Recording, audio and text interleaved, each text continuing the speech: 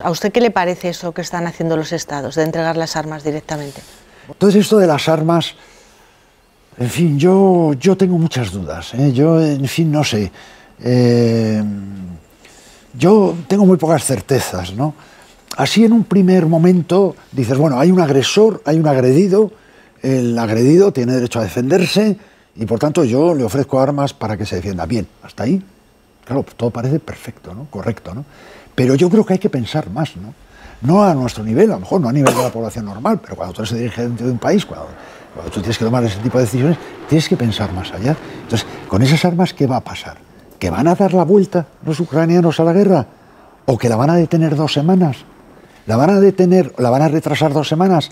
¿La van a retrasar tanto que las sanciones económicas o esa pretendida eh, eh, rechazo de la población o de los oligarcas a la guerra termine por obligar a, Putin a, terminar la, agresión? ¿De verdad?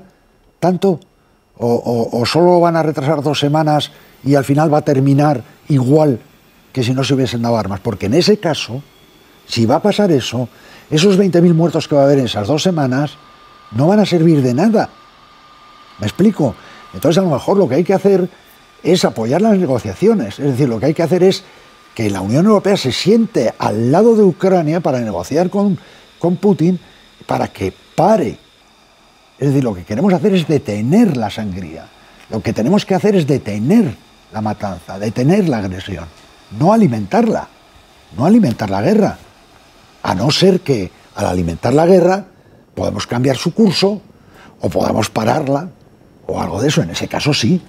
Pero eso hay que estudiarlo con muchísimo cuidado porque si no se va a hacer eso, no hay que eh, eh, llevar más lejos de lo que está yendo el, conflicto. lo cierto es que desde el, fin de la Guerra Fría eh, Rusia ha sido ninguneada, o sea, la OTAN se ha ido expandiendo hasta llegar a las fronteras de Rusia y Rusia no ha sido tenido, tenida en cuenta nunca.